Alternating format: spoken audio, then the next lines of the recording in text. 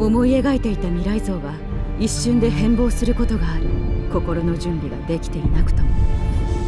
ここは俺が望んだ未来ではなかっただが間違いなく俺のいるただ一つの世界。今度は覚悟ができている。教訓があるから。人は過ちを繰り返す。一つだけ聞きたいことがある仲間のために命を懸けることができる？その仲間が人造人間だとしても。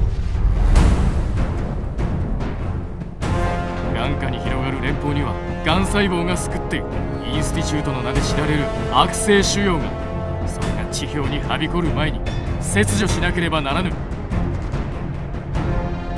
奴らが本当の敵だ。レーダーでもスーパーミュータントでもなくダイヤモンドシティの手先でもない。本当だよ。人造人間じゃない。撃たないで。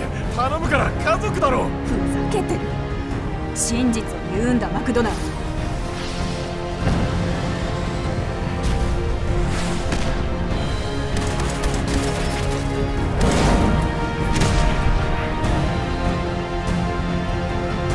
ド。直前の依頼で人々を守る未来を自らの手で決めるために。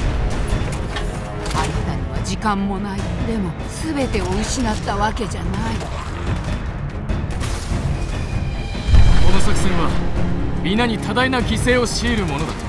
しかし最後には我らが人類をその最強の敵すなわち人類それ自体から救済するのだ。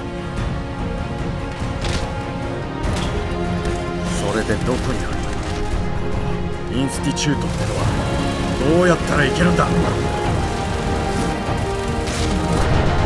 聞いてなかったのかインスティチュートは見つからない。インスティチュートが見つける